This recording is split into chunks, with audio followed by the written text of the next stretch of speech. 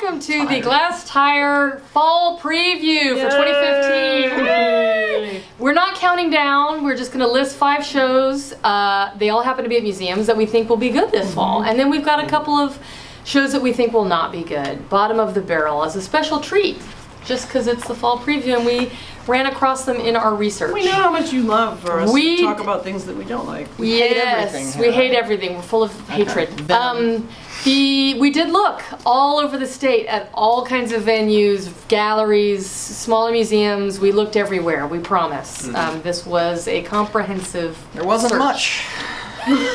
Kicking it off. Uh, in San Antonio, it's going to be 28 Chinese at the San Antonio Museum of Art.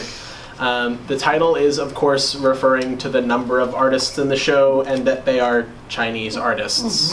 Uh, the work is from the Rubel Family Collection, so it's a private collection show from the collection in Miami. The the reason we picked this show was not to fluff the value of the Rubel family collection, but Like because we have any influence over that. we have because we are personally responsible for What what we it's worth. want to know is how things have changed over the last 10 years in terms of what kind of Chinese artists are being collected by It- Western collectors. Mm-hmm. as Because it's probably different from By what, one. it, Because what we it was. remember the glossy pop, Exactly. aughts stuff. So this might be different. We're curious. We don't know. And Will it be distinctively Chinese? Nope. It It'll will be American. because the whole globe, all art is now American. this is a hmm. thesis. This is the A vice thesis. thesis. Nice This thesis. is Vice's About every. Do we have a problem with the fact that this is a private collection that's being sort of the values being If we have a problem with that now, what kind of problem are we going to have five years from now? And that's when what the art world has gone deeper. Museum shows are. Yeah, we might as well just give up now.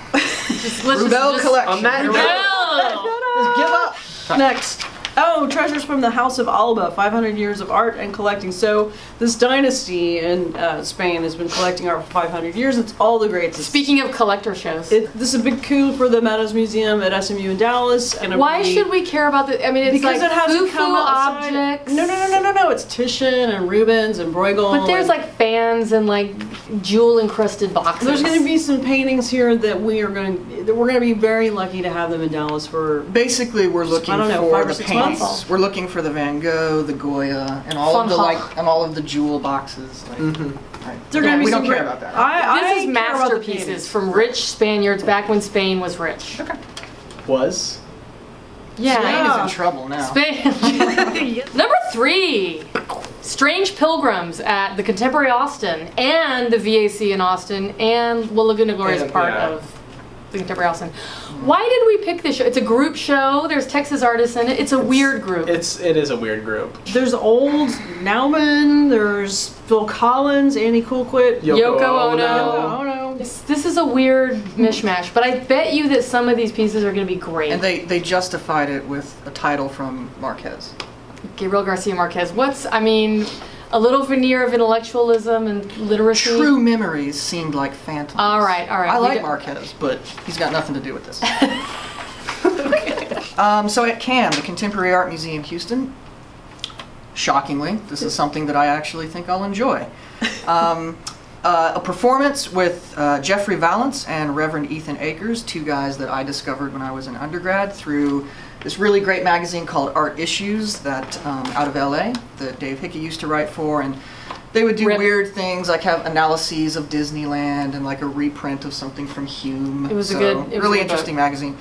Um, so Reverend Ethan Acres will assume the character of a Lutheran minister who has come to God through Jeffrey Vallance's I, artist would, book. I think The of him Vallance as Bible. being like a like a tent revivalist Southern Baptist type, not Lutheran. Um, this, right. That's going to be good. It's a one one day only performance during the Texas Contemporary Art Fair on that Saturday. Go so see that it. will It'll be, be interesting. That'll be worth a see. And also in Dallas, International Pop at the Dallas Museum of Art. Yay. Dallas Museum of Art. Way to go. Go DMA. Christina I- saw the show. so they've gotten this show from the Walker. I saw it at the Walker uh, this summer. Um, It's a great show. It is a pop. It's pop, but it's not necessarily a super upbeat, fun show. It's it's fairly It- political. it's not. It's not going to be like eh, '60s, the usual suspect. It is the usual a few usual suspects. Jasper Johns is in it. Rauschenberg's in it, but it's um, it's not so much about aesthetic as it is about sort of ethos and the way that translated through 14 or 15 different countries, four different continents. So you've got a lot of Brazil, Argentina, Japan, you have Why Germany. do you think it moved through all the continents? This pop thing. because of Haven't you read television The Power of advertising. I Myth? know why. And- it We is. have a collective subconscious. Yeah, you actually write about this kind of thing. Of course I do. That's why I'm asking. Oh, I We have a collective a subconscious. Uh, mass production, advertising, all of this kind of taking over the Joseph universe. Yes, taking Yeah. over the universe. Joseph. Campbell. Interesting. It's a little bit. It's almost scrappy. There's something kind of cool about that. Yeah, it's almost a scrappy show. It's It's going to be a good show. Oh, please. Which leads us to the bottom of the barrel. We had a couple of, well, we had more than a couple of shows that we just all collectively held our noses and, and grimaced when we read about. So we thought we would include those. The first one, in no particular order, is Chalet Dallas at the Nasher Sculpture Center. Can I read the press Would- release? Can you read the press? Brandon, please read the press release.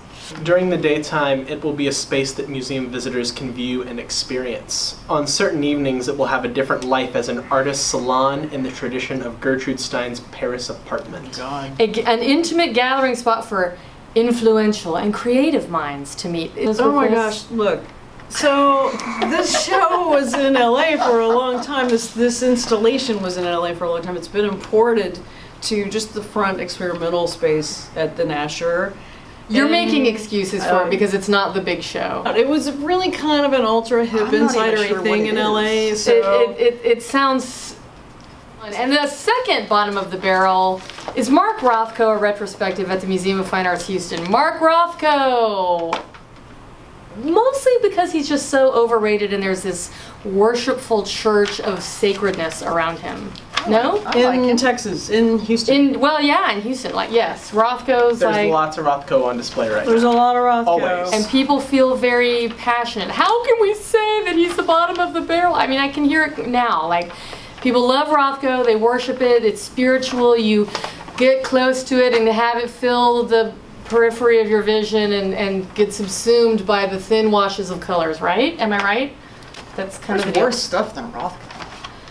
But we're excited because there's a ton of shows opening uh, all over the state. Check our events listings, and we will return with the regular top five next week. Yes. Yep. Go see some Go art. see some art.